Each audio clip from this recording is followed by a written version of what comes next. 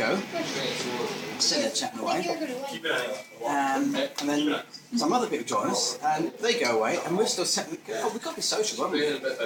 And then we realise, hang on, we've been here for two hours eating non-stop. Non-stop. So that became known as the the breakfast challenge.